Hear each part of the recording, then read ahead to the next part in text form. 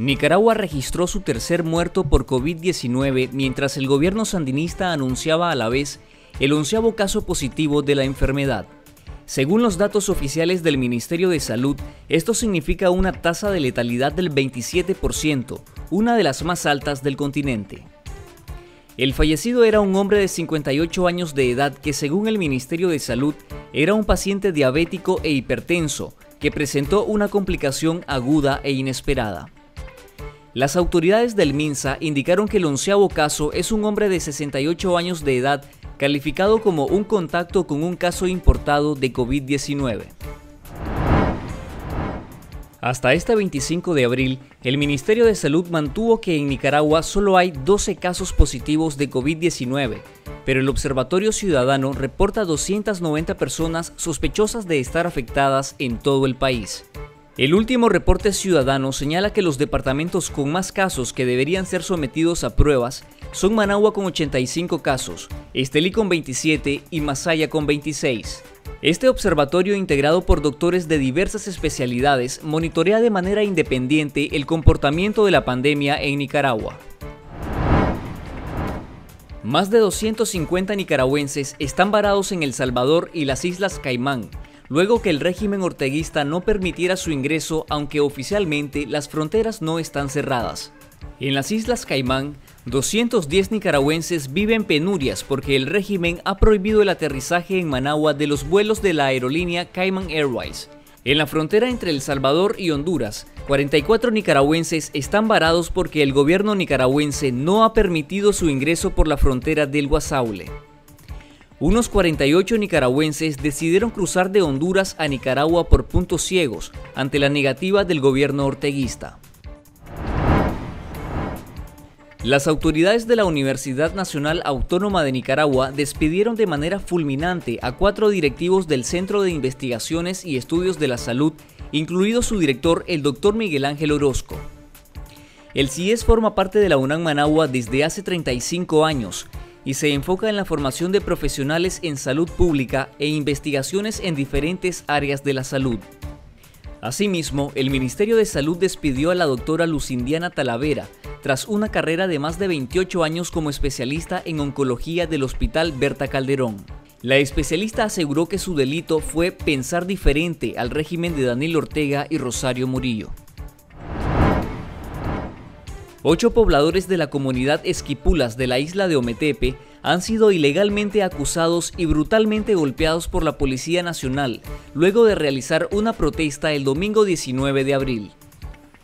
Los ciudadanos fueron detenidos entre el domingo y lunes y trasladados a Managua donde los acusan de supuestas lesiones graves, obstrucción de funciones, tentativa de homicidio, secuestro extorsivo, homicidio frustrado, daño agravado y robo agravado.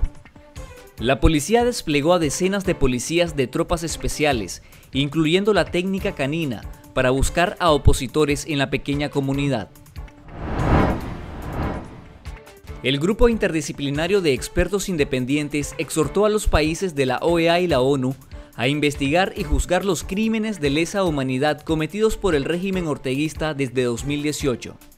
Los cuatro expertos del GA indicaron que desafortunadamente no existe ningún avance en el juzgamiento y la sanción de las graves violaciones de los derechos humanos en Nicaragua. Sugirieron que, con la finalidad de evitar la impunidad, cualquier Estado juzgue a los responsables de los crímenes conforme al derecho internacional y la legislación de cada país. El alto representante de la Unión Europea para Asuntos Exteriores y Política de Seguridad, Joseph Borrell, denunció que en Nicaragua desde abril de 2018 no hay avances tangibles sobre la democracia y los derechos humanos. En un comunicado, el diplomático español alertó que continúa la represión de las fuerzas de seguridad y grupos armados progubernamentales contra los opositores políticos, periodistas, organizaciones de la sociedad civil y miembros de la Iglesia Católica. Seis cámaras empresariales demandaron al gobierno reducir la tarifa eléctrica en un 15 o 20% ante el desplome del precio internacional del petróleo. El gobierno no se ha pronunciado oficialmente, sin embargo, el presidente de la Cámara Nicaragüense de Energía, César Zamora, advirtió que una rebaja de ese porcentaje no es viable, porque el alivio petrolero servirá para proteger de la quiebra a las distribuidoras Disnorte y Disur. El planteamiento de las cámaras es que con una rebaja de ese nivel se podría revertir el incremento tarifario del 20% que impuso en 2018 el Instituto Nicaragüense de Energía. Economistas y empresarios nicaragüenses prevén que el decrecimiento económico en 2020 será mayor que el 20% del pronosticado por el Fondo Monetario Internacional. La caída arrastrará las recaudaciones fiscales, que según cálculos de los economistas perderán un poco más de 4.400 millones de córdobas. Ese panorama es grave porque la crisis, la crisis eh, mundial y más la crisis ahora nuestra con la pandemia y con los cierres eh, de las empresas por, por el cuidado personal, porque al final el cuidado aquí va a ser personal, ¿verdad? Aquí el héroe, como dice la campaña, eh, es uno mismo.